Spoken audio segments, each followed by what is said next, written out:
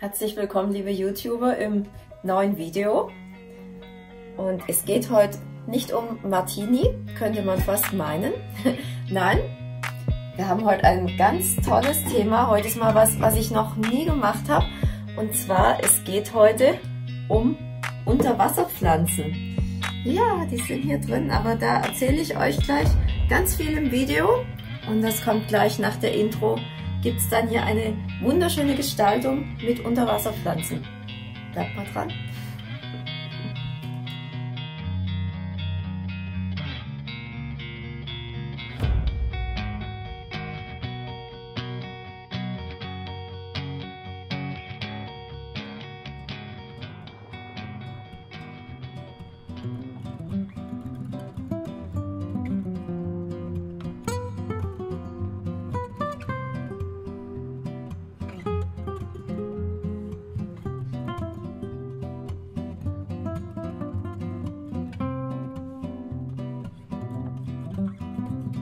Bevor ich zu dem Video mit den Gläsern komme, oh, guckt mal, wie schön das Licht in diesen Wasserpflanzen drin ist, zeige ich euch nochmal eine, eine Besonderheit. Und zwar, wir versuchen natürlich auch beim Kollektionswechsel ähm, gewisse schöne Stücke zu einem Sonderpreis auch zu verkaufen. Und es gibt hier dieses tolle Windlicht mit Seil, mit dieser ganz tollen dicken Vase. Ja, mit dieser super dicken Vase. Man sieht also gegen meinen Finger, wie dick die ist. Und mit Kerze drin, die Abmessung schreibe ich euch nochmal rein, zum super Sonderpreis von 35 Euro ähm, verkaufe ich das, plus 7 Euro Porto. Und das ist jetzt also ein Special Offer, First Come, First Serve. Und was da ganz toll ist, ist, wenn, wenn die Kerze brennt, also der Kerzenschein, der fällt dann so in Streifen an die Wand. Ja, das ist, das ist ganz malerisch, haben mir schon manche auch geschrieben und haben mir sogar schon Fotos geschickt. Und das ist sowohl mit Kerze toll, als auch, hier haben wir unten Sand reingemacht, als auch als Vase. Ja, da kann man das Glas einfach rausnehmen, dieses schöne dicke Glas und kann das als Vase verwenden. Und da kommen auch noch ganz tolle Videos von mir, wie man Vasen, bei denen eigentlich die Öffnung zu groß ist, für einen Strauß gut nutzen kann. Da habe ich einige Ideen in den nächsten Wochen. Aber ich wollte euch mal dieses Sonderangebot und das ist hier auch noch mit diesem schönen, ja, mit diesem schönen, das ist in Silber. Ähm, das schimmert nur so, weil mein Handy gelb ist. so, mit diesem schönen silbernen Schildchen ist das, ja, ähm, dekoriert. Heißen die Unterwasserpflanzen oder Wasserpflanzen? Das sind wirklich Unterwasserpflanzen. Okay. Ja, also. Mhm. So, also ähm, ich habe hier, ich fange nochmal an. Ich habe was ganz Tolles mitgebracht. Das kann man in Gläsern kultivieren ähm, oder auch im Teich. Und das sind so Pflanzen, ja, die sehen so aus wie, ja, so fast wie so Tannenbäumchen. Die nennen sich Hornkraut. Ja, und die gehören zur Familie der Hornblattgewächse. Ähm, die bilden keine Wurzeln, sondern die schwimmen tatsächlich im Wasser. Ähm, ja, die schwimmen immer so. Und ich glaube, ich muss euch da einfach mal zeigen, wie man das macht, weil da gibt's immer so einen, ähm, da gibt's immer einen, einen Stiel. Und dann, das sind wie so kleine Schirmchen, wo die so auseinandergehen und wachsen. Ja, man sieht's ja auch. Und diese Pflanzen, ja, man kann da einen wunderschönen kleinen, im Glas, sich einen wunderschönen kleinen Teich anlegen. Ich mache jetzt erstmal die Basis dazu. So, heute ist es nass. Ich brauche immer mal ein Geschirrtuch dazu. so, die Basis für, unseren, für unser Arrangement. Das ist ein Glas, natürlich Klarglas. Ist ja eigentlich logisch, ja, weil sonst, sonst kann man ja gar nicht so schön diese Pflanzen sehen. Man nimmt jetzt ein paar Steine. Ja, zur Deko. Weiße Steine sind sehr schön. Wenn ihr weiße Steine im Baumarkt kauft, dann wascht die erstmal, weil die, die, sehen, die sehen total milchig aus, ähm, wenn man die nicht wäscht. Also ist ganz, ganz wichtig, weil sonst ähm, gießt ihr hier das Wasser auf und ähm, dann habt ihr eigentlich nur noch, nur noch Milch. Ja, dann nehme ich mal meine schönen Pflanzen. Also die kann man in den Teich, äh, in, im Teich nehmen äh, oder ja wachsen lassen, die haben keine Wurzeln, diese Pflanzen, sondern die wachsen wirklich so am Stiel, die wachsen weiter im Wasser. Ähm, das sind also freischwimmende Unterwasserpflanzen. Wenn mal sowas ein bisschen braun wird, dann würde ich das wegtun. Und wichtig ist auch, wenn man das im Glas, äh, wenn man diese Pflanzen ins Glas nimmt und ich trenne das jetzt mal so schön nach Längen, dann sollte man jetzt nicht sagen, ach, das wäre so schön, jetzt noch eine Blüte dazu zu legen. Nein, ähm, auf keinen Fall. Äh, diese Pflanzen, es ist auf jeden Fall gut, die alleine mit den Steinen im Wasser zu lassen, weil ähm, die kommen auch mit wenig Licht aus, die reinigen das Wasser ähm, und das Wasser bleibt wirklich ganz toll sauber, aber es darf nichts anderes dazu, ja, wirklich nur ein paar Steine und diese Unterwasserpflanzen. So, Jetzt habe ich es bald alles getrennt. Ich muss, muss erstmal eine schöne Ordnung machen. Ich habe eigentlich schon viel vorbereitet für das Video vorher, aber man sieht, es gibt doch immer wieder was zu tun. So, die ist jetzt nicht perfekt genug, die tue ich weg.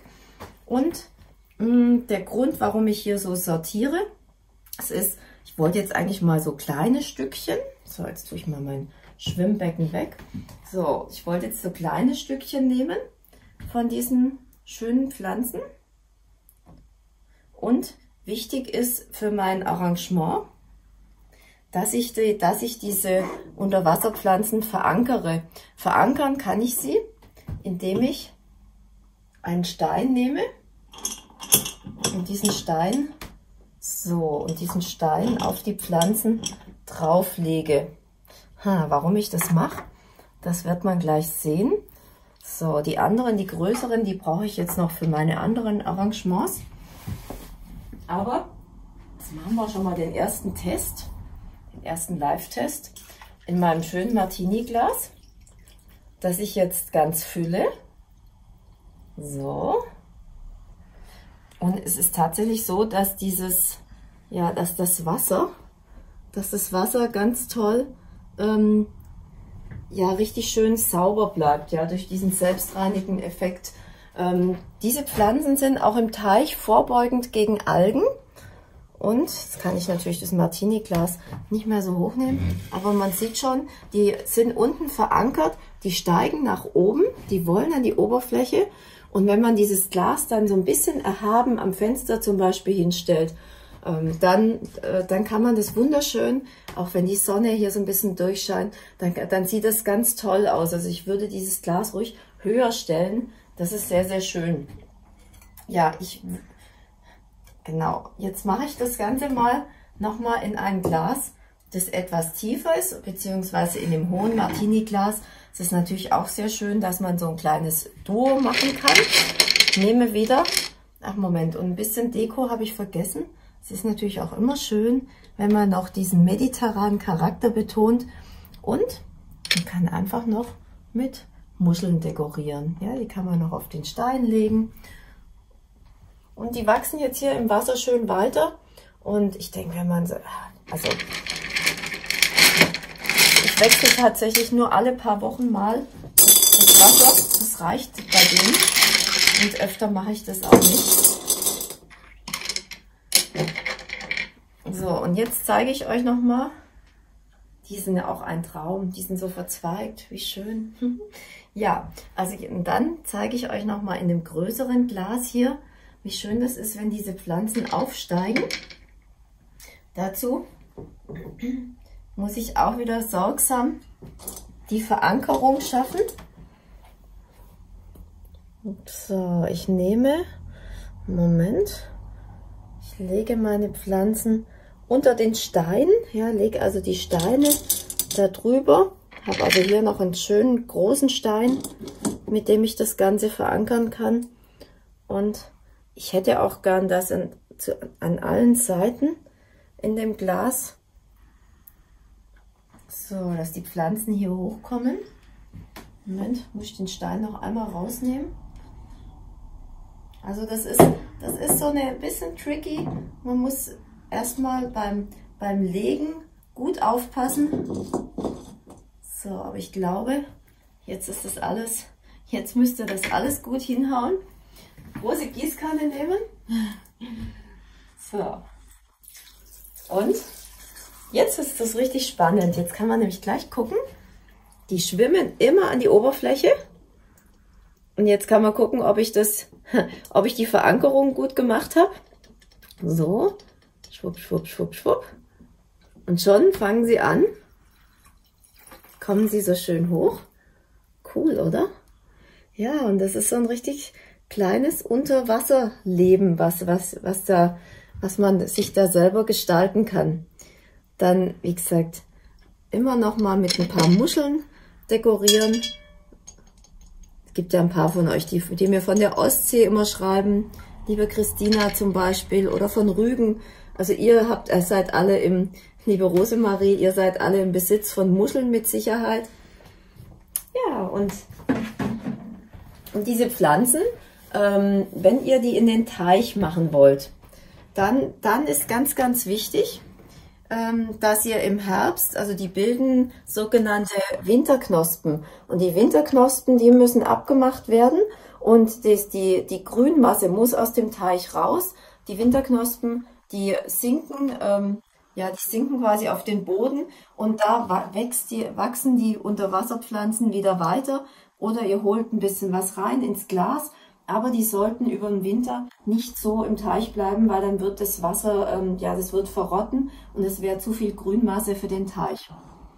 Ja, und jetzt kommt wieder mal, manche Fragen sagen ja auch, ach Margit, ich würde mir das gern auch selber so machen zu Hause.